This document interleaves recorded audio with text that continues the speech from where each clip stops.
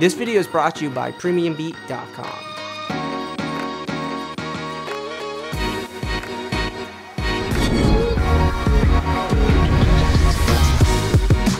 Hey, what's going on internet? This is Josh Noel from Sonduck Film. Welcome to our channel. If you're new here, be sure to hit that subscribe button. So we have a very quick tutorial today because I'm actually out of town and I wanted to post something really quick. So we'll be talking about creating loopable backgrounds with After Effects and it's very easy to do this. So I'm to show you the techniques how to create awesome loopable backgrounds. So we'll move on to our first background technique, which will be this looping circle background, which is very easy to do. Let's go ahead and move over to our tutorial composition. So what we're to do is come here to the top and we're to grab the ellipse tool and click on the word fill, make sure it's set to none, click OK, click on the word stroke, set the solid color, click OK. And we'll come here and bring down the stroke to like 30 or something. We'll look at it in a second. And we'll just create a perfect circle like this. Hold down shift on your keyboard. And then we'll control double click the Pan Behind tool here. And then let's come here to the line tab here on the right and we'll just center this up. So this is the middle of our composition. Grab the selection tool and maybe we'll make this a little bit smaller. Okay, awesome. Then what we want to do is come here to add, and we're going to add a repeater. We'll open up repeater 1, and we'll come here to transform repeater 1. We'll set the X position down to 0. And then we'll come here to scale, and we'll scale this down. And now you can see that we're able to have this right in the center. Then we can increase the number of copies. This is really where you want to kind of just increase the number of copies for a long amount of time. So 116 copies is good. You might need to increase it depending on how long your background is going to be. Okay, then we'll come here to offset right below it and we can just bring this towards us. So it's like right there, that's fine. And we can always increase or decrease the scale depending on how many, you know, how much distance we want to have between each one. Then we can add a keyframe for offset. We'll move forward to the end of our animation. So your animation will be 10 seconds, mine's just gonna be five seconds. And we'll just animate the offset to move towards us. You won't be able to see it, but if we play it back, here's our animation and that's really cool and you just have to adjust the offset for the speed. So I'll do like negative 10 so that looks really nice and good to go. Now we only did white and the reason why we have white is because we're going to be able to create a gradient. So make sure that the circle was white and then we'll come here to layer new solid and we'll call it gradient and click OK. Then we'll go to effect generate and we're gonna grab gradient ramp. And I spelled gradient wrong oh well. And we come here to start with color select any color we want. So I'll do like a color like that. And then we'll come here to end of color. We'll do like a purplish blue or something. Awesome. Then we'll bring this gradient underneath our shape layer. Go to our shape layer. Make sure you toggle switch the modes until you see the blend mode here. And we'll set this to overlay. And if we want to darken down our background, we can create like another solid. Make sure it's black.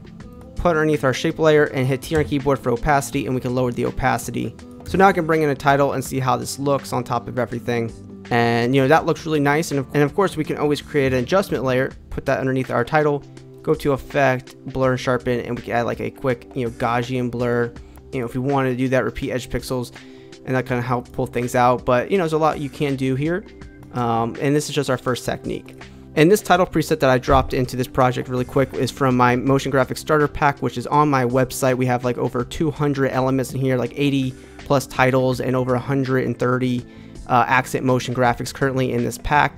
So uh, if you want to check that out, I will drop a link in the description. I'll show you a little bit about this later. And before I show you another technique, I want to say thank you to PremiumBeat.com for sponsoring this video. PremiumBeat is a royalty-free music provider for your creative video and motion graphic projects. They have an extremely popular library with thousands of songs to choose from, and they have a very easy in-depth search and menu filter system that allows you to quickly find the best songs for your video. So for your next video project, be sure to check out PremiumBeat.com for your royalty-free music. So in the next technique, we're going to talk about creating this more of a rectangle linear background animation, really easy to do. So we'll come over here and we'll grab the rectangle tool. This time we'll turn the fill back on and we'll turn off the stroke.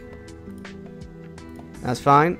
And then we can come here and just draw out a rectangle, you know, like this. No big deal. And we'll come here to add and we'll add a repeater right away.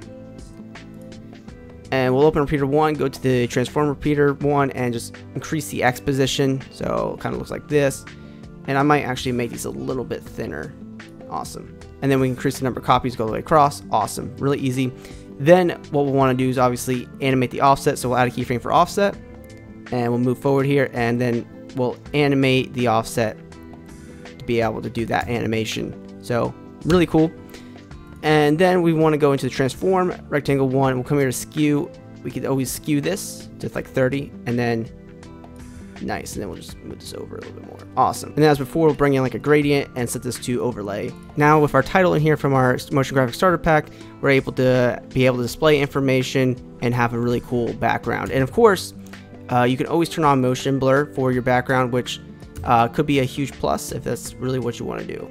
And with our motion blur enabled, uh, this is what we have, and it looks really awesome. So for our third technique, we're going to create these loopable, you know, circle background, really easy to do. So I already have a gradient in here, and we'll come here to the top, and we'll grab the ellipse tool, and you know, from the corner over here, we'll just draw out a perfect circle, hold down shift on your keyboard, then we'll come here to add, and we'll add a repeater, and we're always using a repeater for this, is the number one tool, and we'll come here and increase the number of copies. You can change the X position if you want. I'm just gonna move this over a little bit more. Then it kind of just gets this to the top. That's cool. Then we'll close this up. Click, make sure ellipse is selected. Go to add and add another repeater. Uh, this time we'll go to transform repeater 2, set the X position down to 0, and then set down the Y position here. And there's a gap, and then we then we can increase our number of copies to go all the way across like this. Awesome. And we'll just really increase those copies, make sure the copies are nice and high on both of them. And then simply we'll come here and transform ellipse 1, we'll add a keyframe for position, and we'll move forward to the end of our animation, and we'll just drag our original circle kind of in whatever direction we want to go. So let's go this way.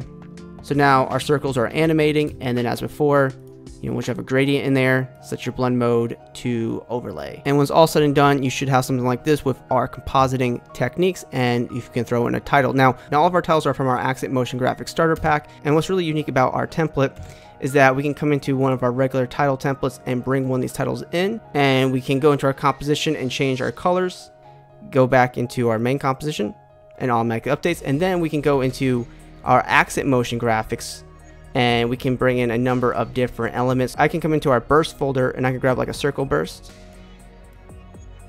And there's that. Of course, I can come here and change our colors real quick. I can scale this element down, move around our composition, duplicate it, and then I can just offset these in time randomly.